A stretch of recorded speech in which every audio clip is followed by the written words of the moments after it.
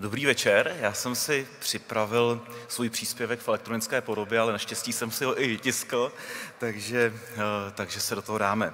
Milé kolegyně, milí kolegové, nerad bych v rámci svého krátkého vstupu do diskuze opakoval teze, jak jsme dobří a že to společně dáme, nebo že máme být důraznější v útoku a jak náš marketing musí účinněji klestit cestu našich ideí k uším voličů, protože to všechno jistě je pravda, stejně jako opakování bývá matkou moudrosti.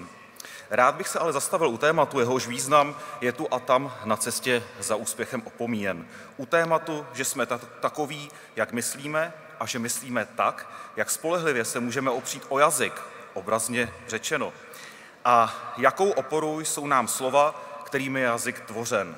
Vězte, že mnozí naši odpůrci, než kvůli nepřátelé, kteří to kromě nás nemyslí moc dobře ani se svobodou, jsou si dobře vědomi, že pokud chcete ovládat lidi, je nejsnažší ovládnout jejich myšlení. A abyste ovládli jejich myšlenky, musíte nejprve dostat pod svou kontrolu právě jazyk, prostřednictvím něhož jsou myšlenky sestavovány a vyjadřovány. Určitě nejsem první, kdo, ta, kdo koho tato zákeřnost tíží. Asi nejpřesvědčivěji se tomuto tématu věnoval George Orwell dlouho před rokem 1984. Český jazykovědec Karel Palek, známý jako Petr Fidelius, rozpracoval tezi, že nejkratší cesta do myšlení lidí vede mezi slovama v knize Řeč komunistické moci. Německý žid Viktor Klemperer ještě dříve vystihl principy zneužívání jazyka nacistickou propagandou v knize Jazyk třetí říše. Skoro by se dalo říct, že zkušeností nazbíralo lidstvo tolik, že nastal čas se i poučit, ale chápu, že jsem právě vyjádřil přání, které je otcem této mé myšlenky. Přesto i proto bych rád ono téma učinil i tématem své kongresové šestiminutovky, protože mám dojem, že jsme, ať už jako konzervativci nebo jako občanští demokraté, velice často neschopní tyto útoky na svobodu myšlení rozpoznat nebo na ně přiměřeně reagovat. Pokud jsem se zmínil o nepřátelích konzervativců a současně nepřátelích svobody, Mám samozřejmě na mysli politické divize obchodních společností oligarchů, stejně jako radikální novou levici. První nahrazují standardní politiku ideí, hodnot a programu marketingem, lžemi a demagogií. Druzí se označují za progresivní liberály, přitom ale vynalezli pekelný stroj tzv. politické korektnosti. Oboje stojí na předpokladu, že když dostatečně dlouho budeme o černé říkat, že je růžová, růžovou se skutečně stane – a to teď opravdu nemám na mysli, že slečna Černá pojme za muže pana Růžového. Takzvaným liberálním demokratům se podařilo redefinovat, rozuměj znetvořit, pojem liberalismus tak účinně, že mnozí pravičáci zapomněli, že se kdy narodili John Locke nebo Adam Smith a začali vyhlašovat, že se spokojí s demokracií takzvaně bez přívlastků. Jen aby nebyla liberální. Tedy patrně i s takovou formou vlády, že když se dva domluví že třetího sní, je to možná nepříjemné, ale nezbývá, než to respektovat.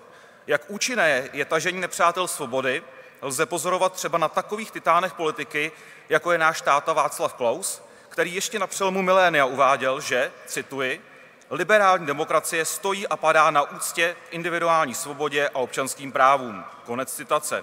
Ale ani tomu nezabránilo sepsat svoji obranu demokracie před liberální demokracií. Těžko najít příhodnější příklad naplnění známého kliše o vylevání vaniček i s dětmi. Ale to není příklad rozhodně jediný. Nechte na sebe zapůsobit slovo nacionalismus. Kolika z vás, milé kolegyně, milí kolegové, naskočila varovná kontrolka, že jste právě zaslechli zprosté slovo. Přitom nacionalismus obecně nemá nic společného se šovinismem a značí prosté přesvědčení o existenci národů. Jak dlouho potom ještě vydržíte hájit manželství jakožto instituci vyhrazenou už svojí etymologií pro pár muže a ženy, kteří můžou založit rodinu bez šílených nástrojů, jako je surogátní mateřství.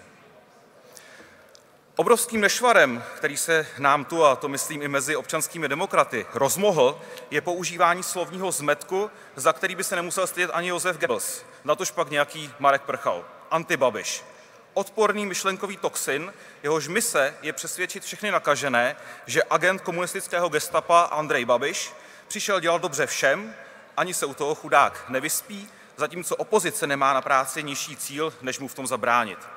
Přitom každý může porovnat po všechné bláboli v programových dokumentech ANO s konkrétními návrhy skutečně prosazovanými například ODS.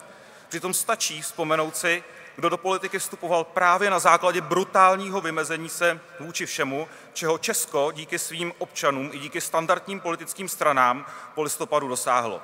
Vymezení se vůči Babišovi, který je v potvrzeném střetu zájmů a obviněný se zvlášť zážného trestného činu dotačního podvodu, je totiž obhajoba jednoho z definičních znaků liberální demokracie, bez které nemůže být svobody.